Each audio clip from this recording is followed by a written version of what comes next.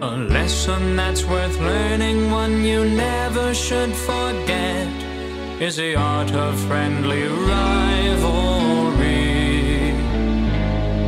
It's not always about winning, you must learn that from the start. Enjoy yourself, remember what counts is taking part.